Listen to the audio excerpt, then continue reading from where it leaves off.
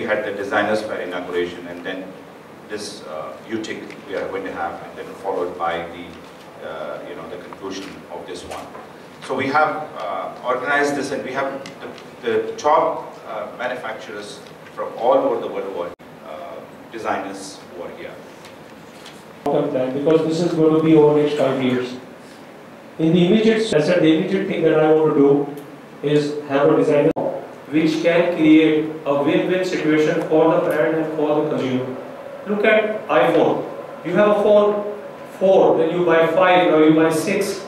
It's not that the earlier one doesn't work, but this design and this functionality is compelling you to change from necessity to aspiration weeks, six weeks, eight weeks.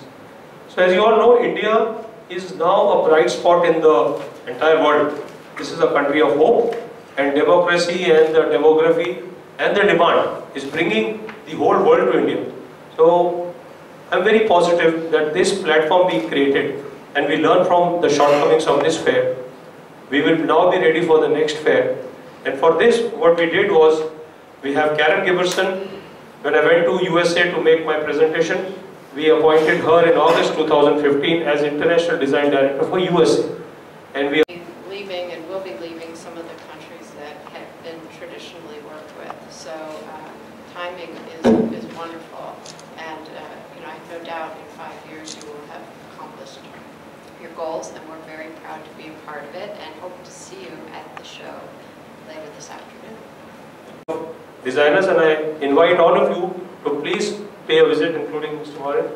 Uh, please come and uh, that will be a huge encouragement to the designers who are displaying there.